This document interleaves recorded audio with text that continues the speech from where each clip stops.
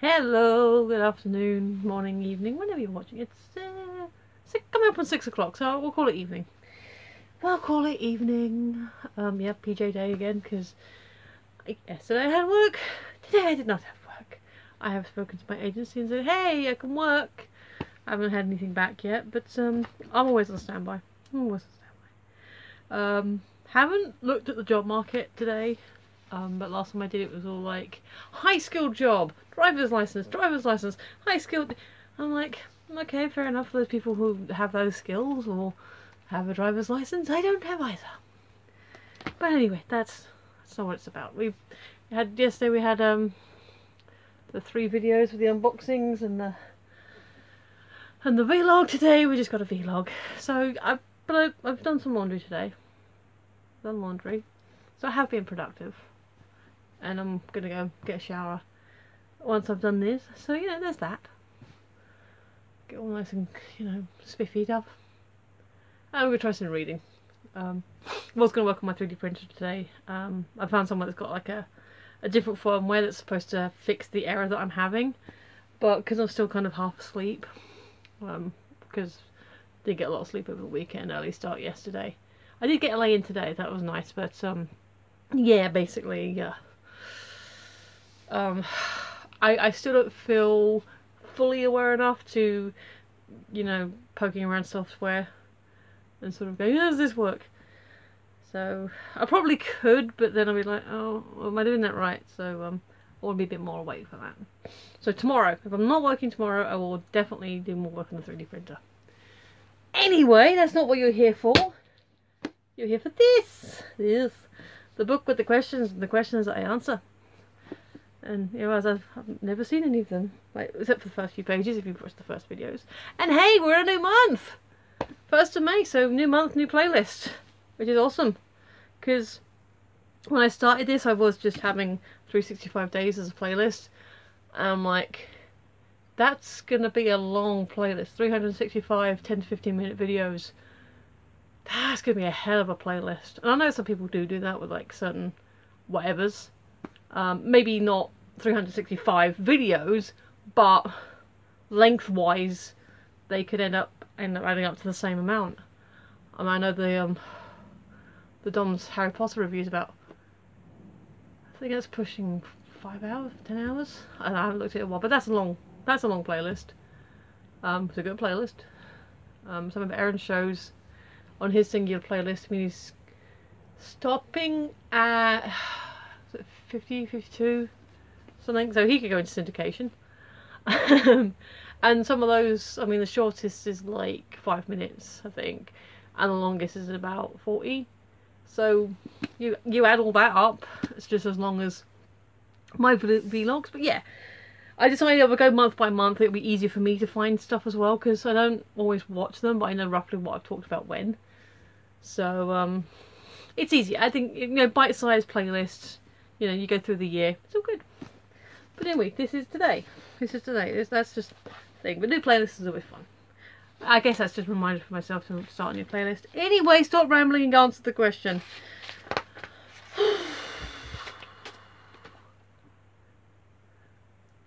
ah, okay, nice easy one. Nice easy one. List your top three celebrity crushes, what you and what you like the most about them. Yeah. This is the fun one. Um, well, I guess top and obvious um, is uh, my boy David. Um, and yeah, this yeah, it's the one with the swear. I haven't finished reading this yet. I started uh, reading it um, when I first got it. Um, found the bookmark. Um, I'm that far into it, and it's like the beginning bits is like really short chapters and it's supposed to get more in depth um, later on, like longer chapters. And I am enjoying it. Um, I know uh, some of the reviews have actually said, you know, the um, the first bits are kind of like, you know, a lot of setup stuff, and it's like, you know, very short chapters. I mean, like literally short chapters. I think one of them was like two pages. Um, that's three. Yeah, that's three. That was slightly longer. And it's not that I'm not enjoying it. I have been. It's just... I think I started reading this when I was working at the warehouse at the, at, the box place. And I was sort of reading it in the um, break room, which is fine because it was always nice and quiet in there. But I, I kind of would drift off a little bit, so I was like, oh, okay, I'm keep drifting off, and when I get home, I don't, I do other things and not read. Um, but yeah, so I want to finish this because Miss Subways is officially out in um, stateside. I think was officially we're supposed to get it in June because that's what the um, release date is on the website. So I've been looking at like I've got been looking on Amazon, um, Book Depository, a couple other places, and um, even Amazon is listing it for June. So it must be the American, the, British version. Um, but yes. But can we talk about? Can we talk about my baby? My yeah, my baby Um, actor author, poet, um, director, has produced in his time, but not as well known as produ for producing. Uh, singer songwriter, because you know that's the thing he does now. Father, ex husband, but you know it happens. The man's got talent. I mean, what can you say? And he's and seriously, I mean, this the picture in here isn't actually very up to date because it's quite an old one. But looking at him I was just watching him on Stephen um, Stephen Colbert. Dude's 57. Tell me you'd look at that dude if you didn't know who he was and say, oh, that dude's in his 50s. So, yeah, whether or not you enjoy his writing, his acting, his singing, his, you know, anything he's done, that's up to you. You know, I'm not saying you have to like him because I like him. But you can't deny the man's trying stuff. You can't deny that he's, you know, isn't pushing the boundaries. You can't deny that he isn't at least taking risks. And as I said before in my um, name someone you really admire video way back when, um, I would find the link for it, but it's you can't actually fault that. You can't fault someone who is at least willing to try. I've always said that, you know, you, as long as you, you try, you, it's okay if you don't like. It's okay if it doesn't suit you. But at least try. And uh, I suppose if himself was watching, well, you don't try and do this, you don't do that at all. I did. I, I went to Portsmouth and it was raining and I was like, okay, they're boats and that's kind of cool. And I don't mind going to some museums, but apparently naval history isn't my thing. Going around and looking at things and walking around just because for, the sake of it isn't my thing. You know, if I go somewhere it's because I want to go there. So there you go. Um, but other crushes, well, I think my oldest celebrity crush is Michael J. Fox. Um, that I don't want to say it's waned. Um, he's obviously had a lot going on in his life, but I haven't been as consistent keeping up with his career. I mean, I still do, you know, enjoy his work, and I've been meaning to watch um, Person of Interest. excuse me. I wanted to watch Person of Interest when I first heard about it because I thought, well, that sounds like an interesting show. And then, of course, now recently Michael's got a um, an arc in it, so that's cool. So I definitely want to check that out. But I haven't really sort of kept up as up to date. But I still, uh, you know, when I watch him, I was like, yeah, this is why I like this guy. This guy's cool. This is, guy's great. You know, obviously with everything he's going on in his personal life, with the Parkinson's, and his works towards helping find a cure and helping other people with you know, using his privilege to help you know, learn more about this um horrible disease, this disorder, um, you know, this condition. You know, you gotta give that props, major, major props. Um, but I would say David is probably the one on more consistently. Um, fanish of because um, I probably, even though like Family Ties, Back to the Future, all that was mid 80s, I didn't really kind of get into him as an actor for my own sake until the early 90s, you know, late 80s, early 90s, and then obviously X Files was. No, no, it would have been a bit earlier than that, but yeah, late late 80s. We'll say late 80s. Um, by the time Back to the Future 3 came out and um, The Hard Way and stuff like that. And then obviously X Files started in night yeah, ninety three X Files started ninety three, Friends started ninety four, that's it. Um so from ninety three four, David's kind of been the top of my radar, top of my list.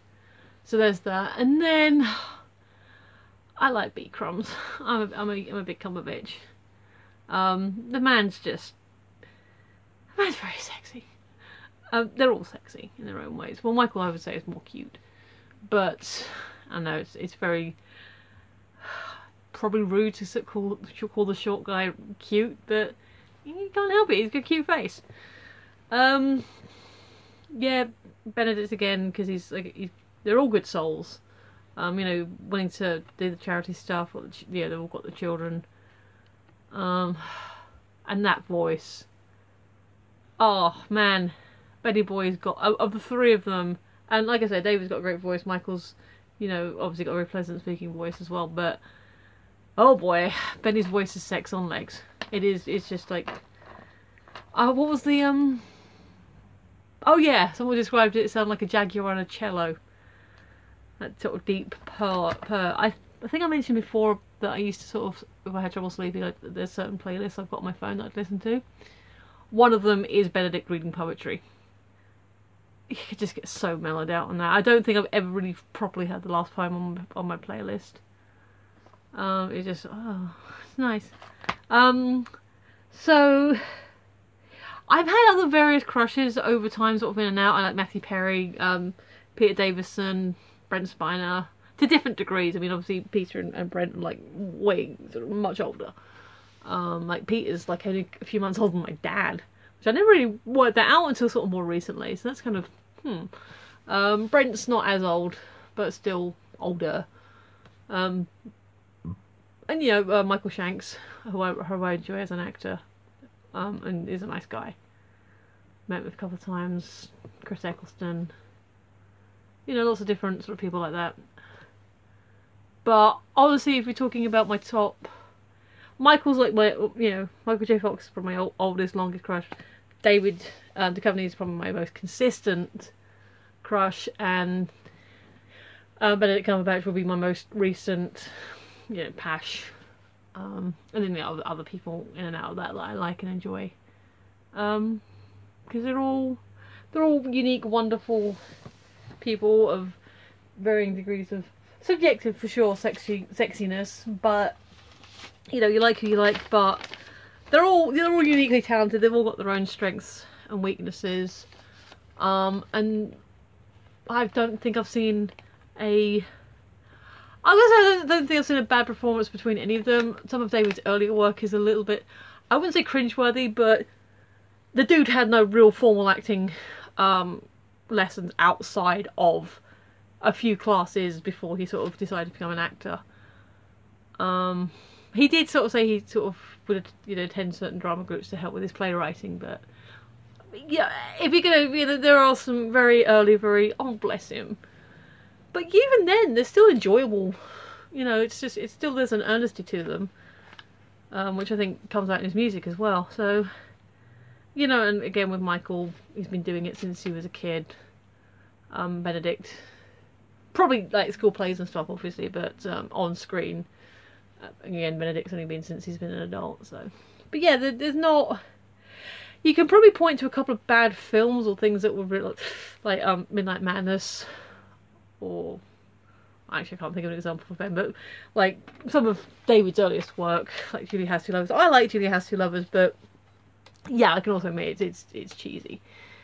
Um, but yeah, so subjectively, yes, and not all brilliant projects, but acting wise, I think they all bring it. There's not terrible performances amongst any of them. So anyway, that's my ramble about my um, celebrity crushes. Oh, and um, Eddie Izzard.